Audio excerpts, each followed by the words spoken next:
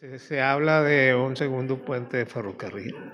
El proyecto ya está, lo tienen los, los, las compañías de ferrocarril americanas y pues, este año se tiene que ver alguna noticia sobre todo al respecto.